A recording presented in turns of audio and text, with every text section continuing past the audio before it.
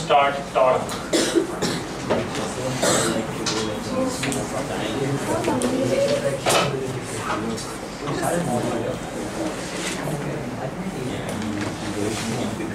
Heard of torque before?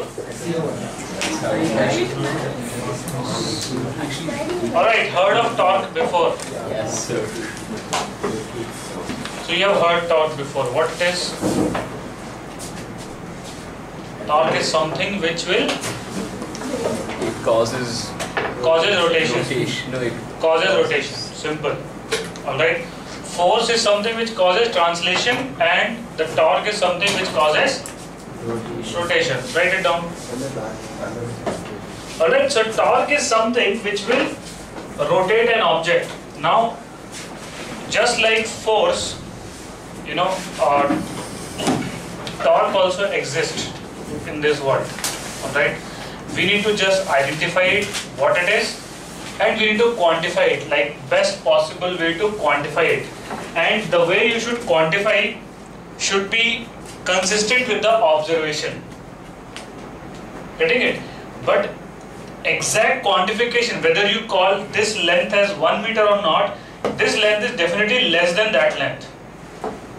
Okay, so whatever method of quantification you take, it should be consistent. Nobody is going to ask you why force equal to mass times acceleration. But it should be consistent that if velocity is increasing quickly, the force has to be more. That's all. You could say why not force equal to m into a square. That also, you know, you can take it as force, right? But people have taken the simplest possible expression combined with mass and acceleration. So similarly, let's try to see the observation related to the rotation and then we can quantify what the torque should be. Fine. Now, in order to have translation, we need a force. Now, if a rigid body is at rest, uh, if a rigid body is at rest, do I need force for it to translate? Any object needs a force, right?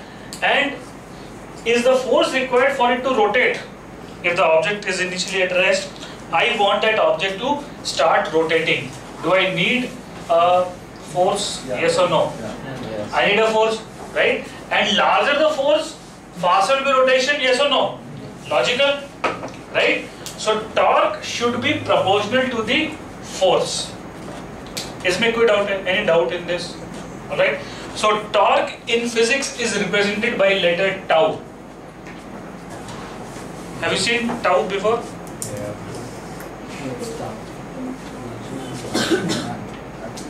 Tau should be proportional to force. Okay? But you will see that, have you ever uh, rotated any object, like for example seesaw? Seesaw, you might have played, na? Yeah, it's not in the racing. What? Means it's not like 360, like to some degree. Yeah. हाँ, rotation is rotation. It need not be a complete circle. So this is the fulcrum. You apply some amount of force over here. Okay, this is your force. It will rotate, yes or no? Okay. Now, if you apply the same amount of force over here, will it rotate faster or slower? Slower. slower. The force is same. Okay, so torque is not just proportional to the force. It has to do with distance as well. Okay, so the greater the distance from the axis of rotation, greater is the effect of its rotation. Yes or no? Simple. Okay. So this is let us say distance d. So the torque should be proportional to the distance.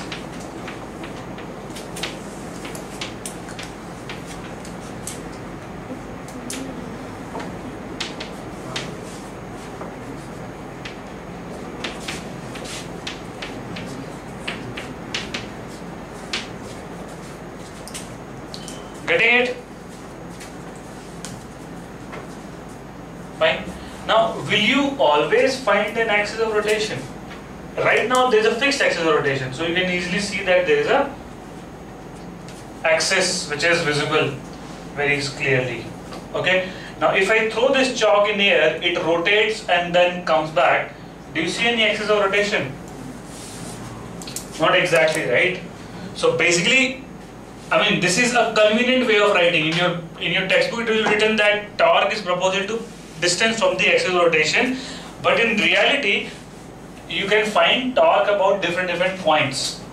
Fine. You can say torque with respect to a particular point is proportional to distance of that point from the force. Are you getting it? Right now I'm finding torque with respect to this point. Are you getting it? Now if I find torque of this force with respect to that point, the torque will be zero because distance is zero. Getting it? So the torque is proportional to perpendicular distance from the point about which you are finding the torque. Alright? And when you see a fixed axis, you naturally tend to find the torque about that fixed axis. But there need not be fixed axis all the time. Fine? Now what if I am applying force like this? Will this seesaw rotate? It will not rotate, right? And if I apply like this, what will happen? It will rotate. It will rotate, but not as well as this, like this, right? So if this is angle theta, only the f sine theta component helps it to rotate. Fine. So it not just depends on force and perpendicular distance, it also depends on angle. And we have found out that if angle is 90 degree, the torque is maximum, and if angle is zero, the torque is zero. Okay, right? So that is why we need to bring that angle also in the picture. So all of them have agreed that let us call the torque as distance from the point into the force into sine of angle. Okay. Now what is this angle? How do you determine this angle theta? Is the it's Theta is what? Is the angle between Angle between the force and the force and no no no no it's the angle between the force and, and the distance from the axis. it is the angle between the suppose from this point you're finding torque so you draw a line from this to the force. This is your one vector and this is your another vector. Getting it? So it is the angle between this vector and that vector. Your distance vector starts from the point about which you are finding the torque okay any doubt? Right? So it is RF sine theta. Can this torque be negative? It can be negative, Yeah. right? Depending on uh, which direction you consider to be positive, right? It can be negative. So right now, at this force, is the torque negative or positive? Why? What what do you want to be negative and positive? RF sine theta. Tell me whether it is negative or positive. R is a magnitude of distance, F is a magnitude of the force. We consider black Positive. Yeah, no, because Yeah, if it's It is Positive. positive or negative? Positive. why does it? How can you? No, because Okay. see, length will be positive, f will assume it to be positive, and theta here will not give you a negative sine theta. Okay, sure, yeah, but why does it have to be positive? Why? Oh, you keep quiet then. Okay, keep quiet. Man. Others, what do you think? Negative or positive? Wha- What is angle theta? It is acute or obtuse here? then positive. Theta is greater than one greater than uh, 90 or less than 90. Less than. Are you sure? Yeah. No, it's. Oh, but yeah, yeah, that's the theta. This is one vector. Oh. This is another vector. So this is the angle actually. This theta is not that theta actually. हाँ तो also, tail to tail, this is this is the tail and here is the tail for the force. This is the angle. Tail to tail or head to head, both will give you the same thing. Fine? Second period again. How do you find angle between the two vectors? You are not there. You have not watched the video also. Huh? This is RF into sine of angle between R and F. Why it should be angle between R and F? Because I want to represent it as a cross product. Otherwise, I will not be able to put it as a vector product. Alright? So I want to write torque as R cross F. So if this is the definition, right now the torque is what? Negative or positive? Positive. Sine of obtuse is still positive. Sign of obvious is still positive. Yeah, exactly. It tries to rotate like this. It tries to rotate it in this way. Fine. And then if it is like this, then it will try to rotate it in that way. Okay. So this is the torque and here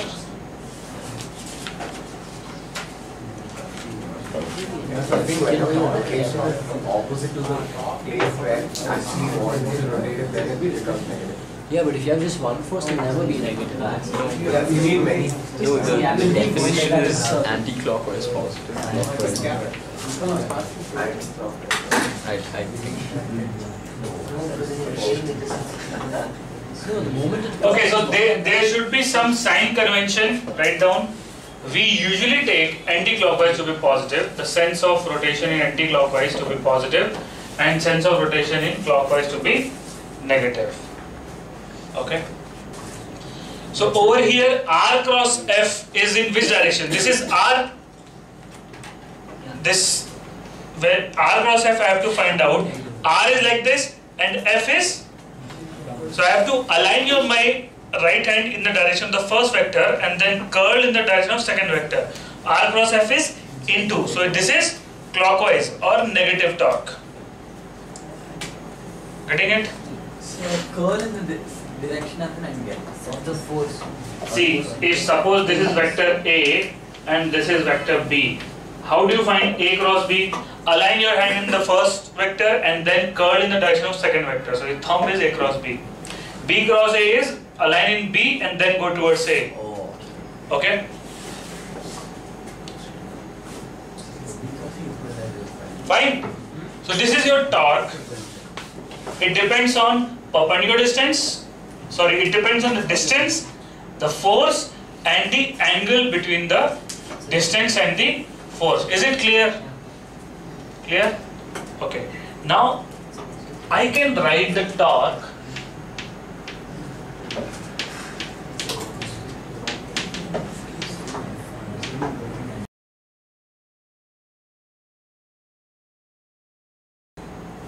R into F sine theta.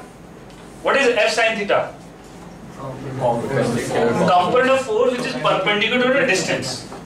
Are you getting it? So I can write this as R into F perpendicular. Alright? And in this chapter, usually we don't rely on the vectors to determine the uh, uh, to determine the sign of the torque. We just use our sense of rotation or just look at it. If you take that direction to be positive, this will be negative. So likewise, one sense of rotation will be positive, other sense of rotation will be negative. Okay? Along a single axis, only two sense of rotations are possible. Okay? So R cross perpendicular distance, perpendicular component of force, and then torque can also be written as R sine theta into F. What it is? R sine theta is what? Perpendicular component of distance. Perpendicular component of the distance from the force. This is the torque. So, so physically, if you look, if you look at mathematically, this is the formula. Okay, physically, it is a perpendicular component of force that causes the rotation, and it is a perpendicular distance of the force that causes the rotation. Are you getting it? Okay, so uh, Huh. So basically, if the force has no perpendicular distance from the axis, then the torque will be zero. It will not rotate at all. For example, this force, this line of force was passing through the axis. Its perpendicular distance from the axis is zero.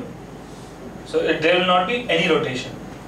Are you getting it? Similarly, if uh, uh, let's say this door, let's say this is a door, this door can rotate about that axis. If I apply a force like that, this force if I extend will cross the axis, it will cut the axis. What, what is its perpendicular distance from the axis? It's going to be that. What is the perpendicular distance of this force from the axis? Tell me. Take that. How much is this perpendicular distance from the axis?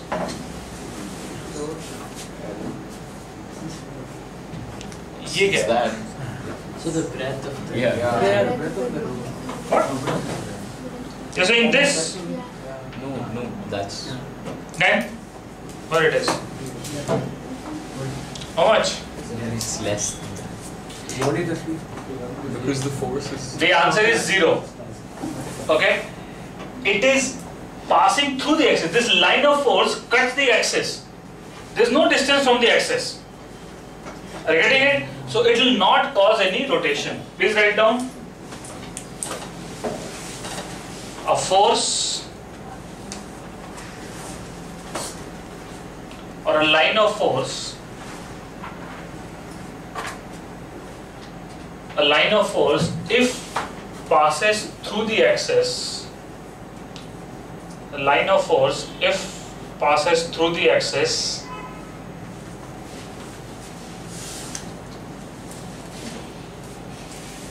creates zero torque about that axis creates zero torque about that axis okay any doubts till now if you have to find out the torque, take the line of force and extend it. Okay, extend it and drop a perpendicular about which you are finding the torque. That is the perpendicular distance. That into the force is your torque. Clear? And suppose you know the perpendicular component of force, take the perpendicular component of force and multiply with the distance. That again will give you the same torque. Okay? Fine.